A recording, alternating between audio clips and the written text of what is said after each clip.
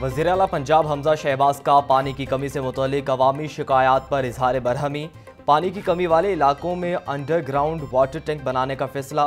Water supply वासा और filtration plants आब पाक अथॉरिटी के स्पुर्द करने का असूली फैसला। वज़ीर अला हमजा शहबाज का लोड शेडिंग के दौरान ट्यूबवेल जनरेटर्स पर चलाने का हुक्म।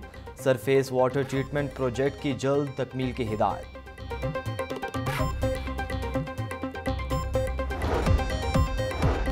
नान रोटी सरकारी कीमत पर फरोख्त करने का मामला, ज़िले इंतजामिया के नान बाई एसोसिएशन से मुजाकर नाकाम। तनूर मालिकान ने रोटी दस रुपये और नान बारह रुपये में फरोख्त करने से साफ़ इनकार कर दिया। शहरियों को मुश्किल का सामना है।